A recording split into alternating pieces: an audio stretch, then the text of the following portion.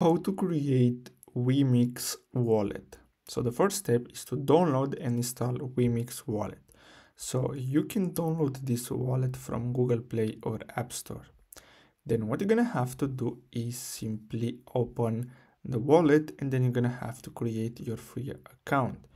Of course, you're gonna have to set a password and your Face ID or Touch ID and then you're gonna have to save the secret recovery phrase and after that you're gonna be able to start trading and you can receive or buy cryptocurrencies on your Wemix wallet. So basically that's all you have to do. I really hope you found this video helpful. Thanks for watching.